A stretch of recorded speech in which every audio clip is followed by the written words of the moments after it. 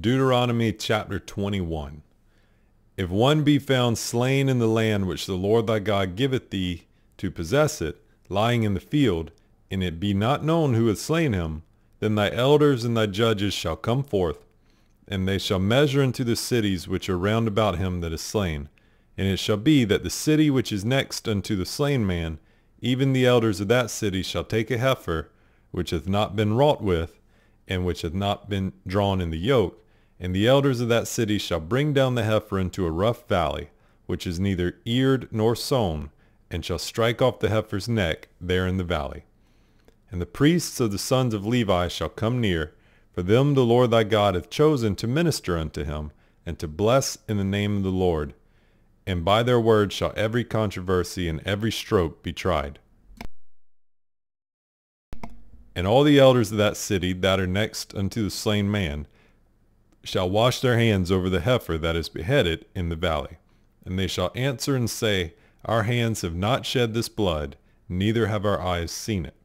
Be merciful, O Lord, unto thy people Israel, whom thou hast redeemed, and lay not innocent blood into thy people of Israel's charge, and the blood shall be forgiven them. So shalt thou put away the guilt of innocent blood from among you, when thou shalt do that which is right in the sight of the Lord.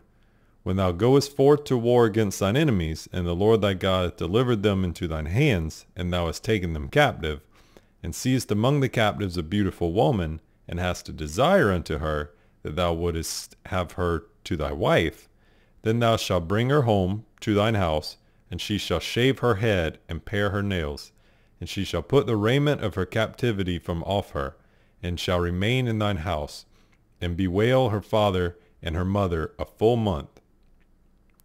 And after that thou shalt go in unto her, and be her husband, and she shall be thy wife.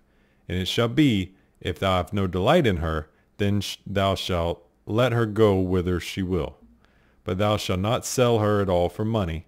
Thou shalt not make merchandise of her, because thou hast humbled her. if a man have two wives, one beloved and another hated, and they have borne him children, both the beloved and the hated, and if the firstborn son of be hers that was hated, then it shall be, when he maketh his sons to inherit that which he hath, that he may not make the son of the beloved firstborn before the son of the hated, which is indeed the firstborn. But he shall acknowledge the son of the hated for the firstborn, by giving him a double portion of all that he hath, for he is the beginning of his strength, the right of the firstborn is his. If a man have a stubborn and rebellious son, which will not obey the voice of his father, or the voice of his mother, and that, when they have ch- chastened him, will not hearken unto them, then shall his father and his mother lay hold on him, and bring him out unto the elders of his city, and unto the gate of his place. And they shall say unto the elders of this city, This is our son, the stubborn and rebellious. He will not obey our voice. He is a glutton and a drunkard. And all the men of his city shall stone him with stones, that he die. So shalt thou put away evil from among you, and all Israel shall hear and fear. And if a man have committed a sin worthy of death, and he be to be put to death, and thou hang him on a tree, his body shall not remain all night upon thee, the tree, but thou shalt in any wise bury him that day. For he that is hanged is accursed of God. That thy land be not defiled, which the Lord thy God giveth thee for an inheritance. Thou shalt not see thy brother's ox or his sheep go astray, and hide thyself from them. Thou shalt in any case bring them again unto thy brother. And if thy brother be not nigh unto thee, or if thou know him not, then thou shalt bring it unto thine own house, and it shall be with thee until thy brother seek after it, and thou shalt restore it to him again. In like manner shalt thou do with his ass, and so shalt thou do with his raiment, and with all lost thing of thy brother's, which he hath lost, and thou hast found, shalt thou do likewise. Thou mayest not hide thyself. Thou shalt not see thy brother's ass or his ox fall down by the way, and hide thyself from them. Thou shalt surely help him to lift them up again. The woman shall not wear that which pertaineth unto a man, neither shall a man put on a woman's garment. All that do so are an abomination unto the Lord thy God. If a bird's nest chance to be before thee in the way in any tree or on the ground, whether they be young ones or eggs, and the dam sitting upon the young or upon the eggs, thou shalt not take the dam with the young. But thou shalt in any wise let the dam go, and take the young to thee, that it may be well with thee, and that thou mayest prolong thy days. When thou buildest a new house, then thou shalt make a battlement for thy roof. Thou, thou bring not blood upon thy house, if any man fall from thence. Then shalt not sow thy, thou shalt not sow thy vineyards with divers seeds, lest the fruit of thy seed which thou hast sown and the fruit of thy vineyard be defiled. Thou shalt not plow with an ox and an ass together. Thou shalt not wear a garment of divers sorts, as of woolen and linen together. Thou shalt make three fringes, thee, thou shalt make thee fringes upon the four quarters of thy vesture, wherewith thou coverest thyself. If any man take a wife, and go in unto her, and hate her, and give occasions of speech against her, and bring up an evil name upon her, and say, I took this woman, and when I came to her, I found her not a maid, then shall the father of the damsel and her mother take and bring forth the tokens of the damsel's virginity unto the elders of the city in the gate. And the damsel's father shall say unto the elders, I gave my daughter unto this man to wife, and he hateth her. And lo, he hath given occasions of speech against her, saying, I found not thy daughter a maid. And yet these are the tokens of my daughter's virginity. And they shall spread the cloth before the elders of the city. And the elders of that city shall take that man and chastise him, and they shall amerce him in a hundred shekels of silver, and give him unto the father of the damsel, because he hath brought up an evil name upon the virgin of Israel. And she shall be his wife, he may not put her away all his days. But if this thing be true, and the tokens of virginity be not found for the damsel, then they shall bring out the damsel to the door of her father's house, and the men of her city shall stone her with stones, that she die because she hath wrought folly in Israel, to play the whore in her father's house, so shalt thou put evil away from among you. If a man be found lying with a woman married to a husband, then they shall both of them die, both the man that lay with the woman and the woman. So shalt thou put away evil from Israel.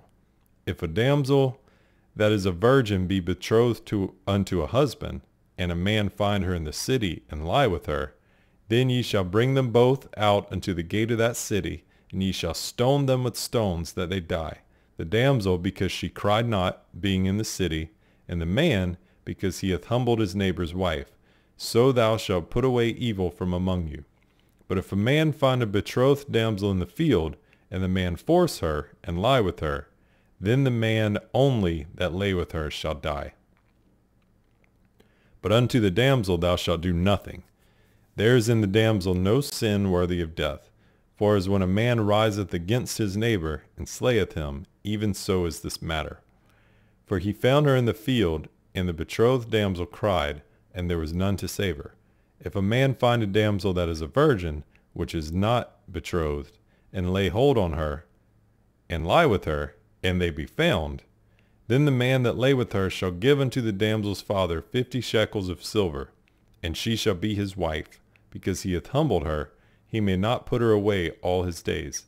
A man shall not take his father's wife, nor discover his father's skirt. He that is wounded in the stones, or hath his privy member cut off, shall not enter into the congregation of the Lord.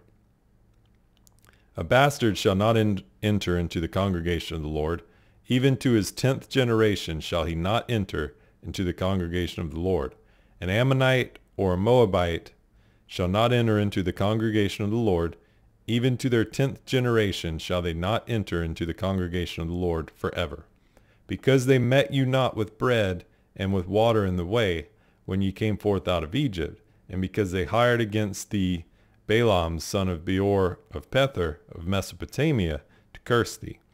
Nevertheless the Lord thy God would not hearken unto Balaam, but the Lord thy God turned the curse into a blessing unto thee, because the Lord thy God loved thee. Thou shalt not seek their peace nor their prosperity all thy days forever. Thou shalt not abhor an Edomite, for he is thy brother. Thou shalt not abhor an Egyptian, because thou wast a stranger in his land.